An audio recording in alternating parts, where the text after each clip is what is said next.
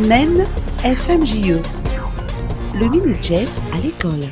Le ministre de l'Éducation nationale Paul Rabar et le président de la Fédération malagasse et du jeu d'échecs FMJE, Yves Rakoutmar, viennent de signer aujourd'hui, dans les locaux du ministère à Anous, une convention de partenariat pour l'intégration dans le programme pédagogique scolaire du cycle primaire de la notion du jeu d'échecs, dont le but est d'améliorer la capacité de concentration et d'assimilation des élèves. La phase test de ce programme, dénommé Mini-Chess, lancé depuis un an, s'avère satisfaisante. Les jeux d'échecs dans les écoles malgaches, mais également et surtout de faire connaître l'importance incontestable de cet accord de convention sur l'épanouissement, la réussite scolaire et l'éducation de nos jeunes écoliers.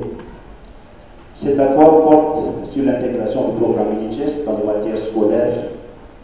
Qu'en est-il réellement? À qui est-il destiné? Et quelles en sont les finalités? De manière succincte, le programme UNICEF une des méthodes d'enseignement du jeu d'échecs qui a été initiée par l'Afrique du Sud et consiste à inculquer chez les enfants la meilleure manière de se concentrer, de surmonter l'adversité et de réussir leur futur.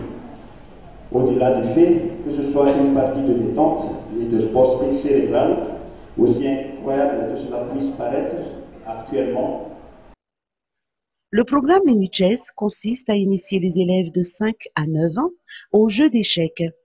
Cela permettra d'inculquer chez eux la meilleure méthode de concentration et de réactivité qui leur servira de pilier dans toutes leurs activités pédagogiques.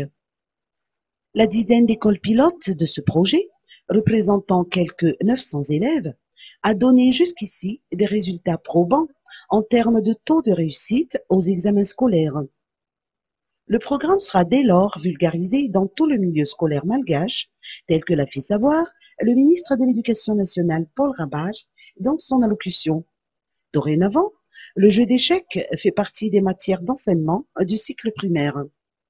Au-delà du fait que ce soit une partie de détente et de sport cérébral, et à l'instar des disciplines sportives, le programme Mini-Chess est tout à fait adapté à la méthode pédagogique actuelle, d'autant plus que Madagascar est le second pays africain à l'adopter après l'Afrique du Sud.